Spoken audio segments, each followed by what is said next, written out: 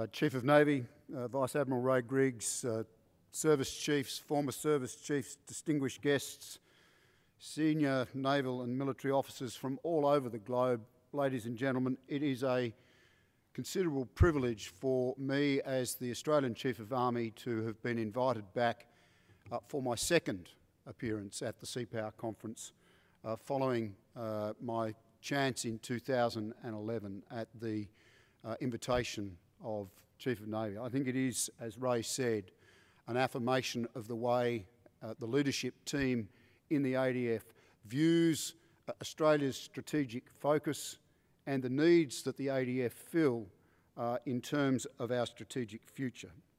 And I do want to take the opportunity before I go any further on congratulating the Chief of Navy and all of the members of the RAN on attaining that marvellous milestone that we have celebrated over this last weekend, uh, the Navy in the service of our nation.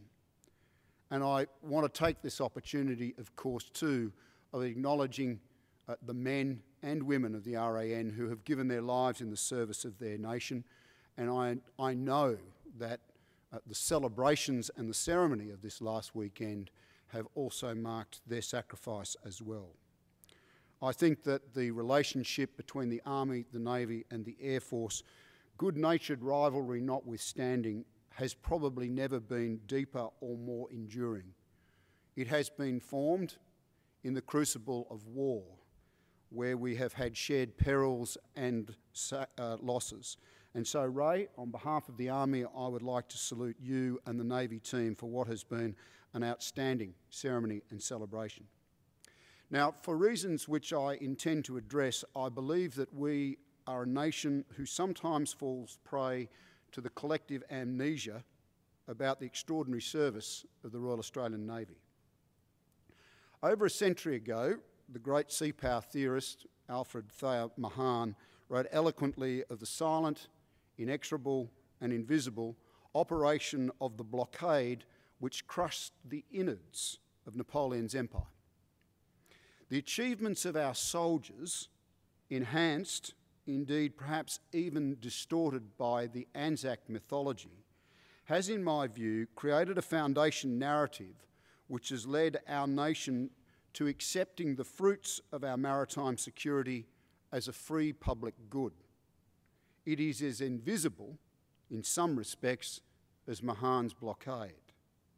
Our trade flows freely, our petrol stations are replenished, our supermarket shelves are full to meet our whims, and our commerce flourishes. Yet Australians collectively do not reflect on the enormous national investment involved in sustaining the maritime conditions for that happy state of affairs, and nor do they consider overly that much of it is also underwritten by the United States as the leading global power of our era. While many of Mahan's insights are today of primarily historical value, his assertion that the oceans of the world constitute ubiquitous highways is so profoundly obvious as to conceal its genius, in much the same way that Clausewitz's observation that war is the violent prosecution of policy now sounds self evidently banal, having become conventional wisdom. That Australia is an island, albeit one of immense mass, is equally as obvious. So our survival, even in peacetime, depends upon the sea. And yet, despite universal lip service to the innately maritime character of our geography, the Western civilization that has grown here since European settlement has not, in my view, developed a deep intrinsic link to that character. As another maritime theorist, my friend Ray Griggs told the Australian Strategic Policy Institute in 2011, a more appropriate wording in the first stanza of our national anthem may have been girt by beach rather than girt by sea. He was pointing to the underdeveloped consciousness which should properly underscore mature, true sea mindedness in Australia. His point is well made and it concerns me every much as bit as it bothers him. Our strategic culture and the strategic policy which incubates it are the poorer for that cognitive failure which is derived from a deeply entrenched continental mindset. Last week I conducted my military uh, history conference in Canberra, the theme of which was Armies in a Maritime Strategy.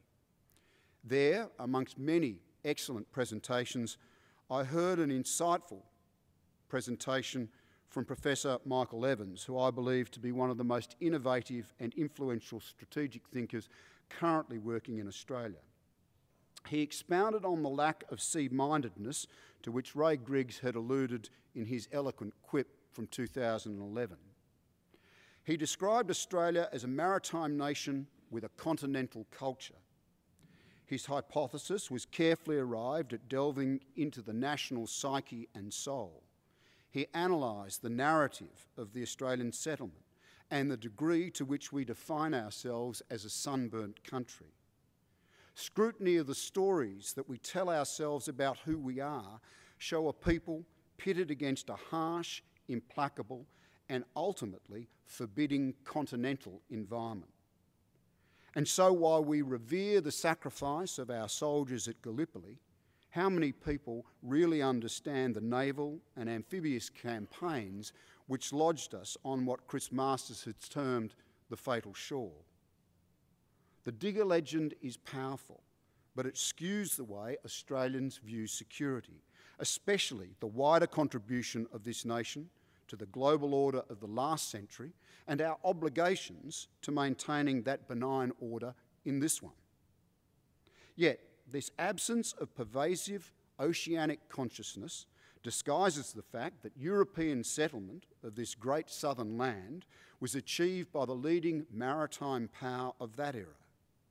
Likewise, it ignores the reality that our security was initially founded in no small part on Great Britain and later on its liberal democratic successor, the United States. In plain language, our prosperity and role in the world is reliant on the freedom of navigation and the unimpeded use of Mahan's great highways, which is guaranteed by the dominant maritime power of the day at a most significant discount of expenditure of our own national treasure. The naval and, and, and, military professionals in the room grasp this reality, but I think too few of our fellow citizens do as well. More worryingly, I fear that the same may be true of some of those who would seek to advise our policymakers. However, this is not a counsel of despair. Australians are nothing if not pragmatic. Regardless of this myopia, our strategic practice has been intuitively shrewd. We have collaborated with the dominant Liberal Democratic maritime power de jour since Federation and have benefited immensely from that choice.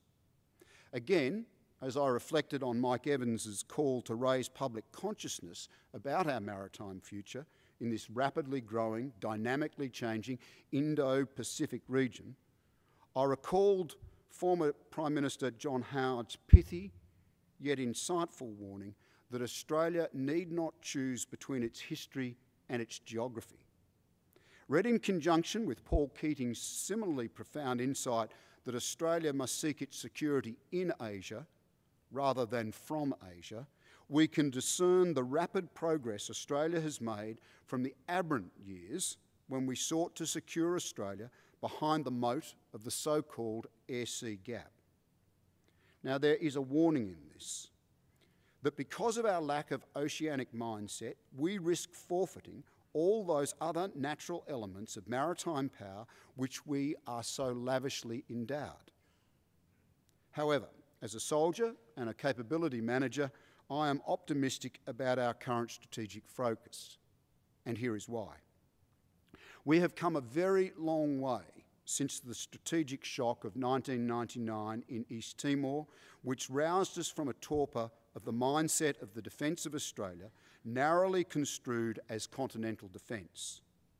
In that regard, I would demur from John Howard in a minor, though not purely semantic way. As he sagely argued, we need not make a false binary uh, choice between our European origins and our Asian geography to achieve Paul Keating's uh, vision of security in Asia, but we must choose our true history. We need to recognise that despite the prodigious feats of arms of our soldiers and the romance of the bush, our troops have never fought a battle on our continent. May it remain so. But as long as the gap between myth and reality in our national identity and ancillary strategic culture remains so great, we will struggle, in my view, to achieve our potential as a second tier maritime power. And for that classification, I am indebted to that fine strategic scholar Patrice Hauser, who would situ situate Australia amongst relatively sophisticated medium powers for whom local sea control, albeit for particular periods of time, is both possible and indeed a strongly desirable capability objective. It recognises that area sea control is unachievable for us and that that remains a monopoly of the great naval powers. Of necessity, we can only collaborate with compatible major powers and contribute to good order at sea and achieve limited force projection in coalition with our allies. Now, we are well on the way to achieving that level of maritime capability in Australia with political support across the spectrum. That vision of a seamlessly joint ADF structured to implement a maritime strategy in defence of Australia through the denial of the use of our land, sea and air approaches to our nation is fundamentally correct.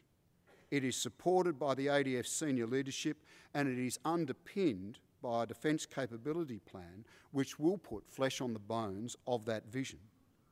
Now, of course, it will require a shift in national resources to fund and sustain it. And in the aftermath of our longest war, fought primarily in a landlocked country, we must take uh, the intellectual lead in explaining this to the Australian public. After all, they must fund it, and they provide their sons and daughters to serve in this joint force in an era when individual opportunity and self actualisation have reduced the appeal of service careers.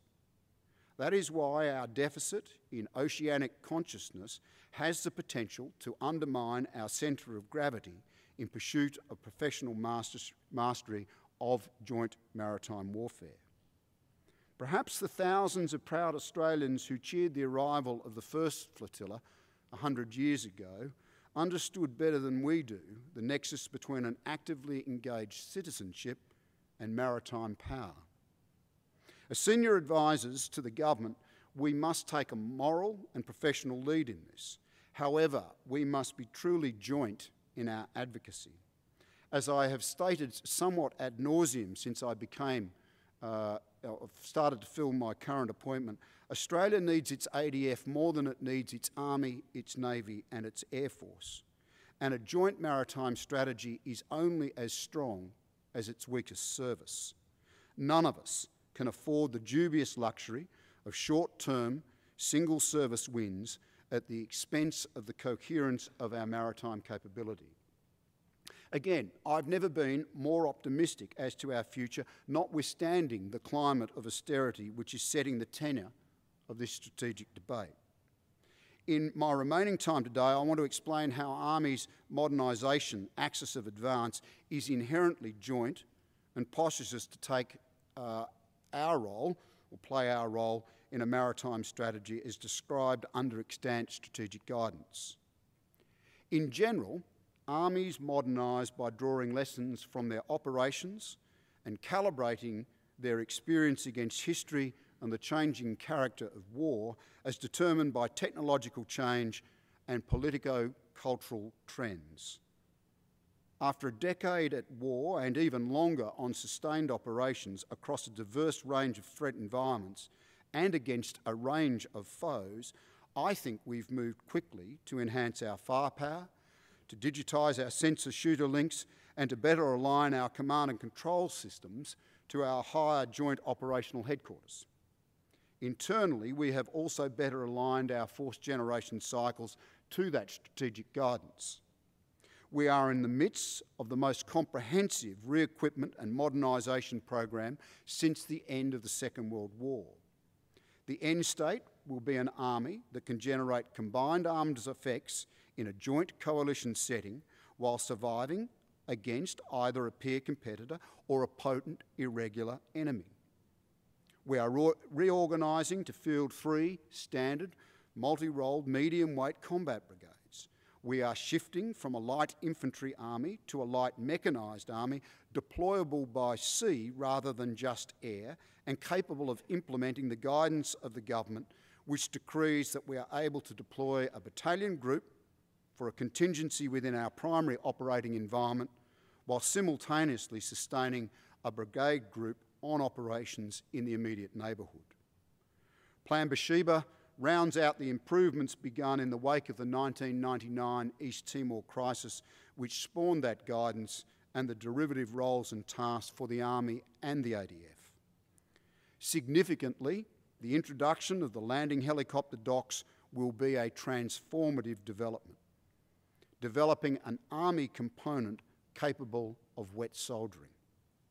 The devil, of course, will be in the detail. The range of specialist skills, trades, and employment codes to conduct even permissive entry operations is formidable.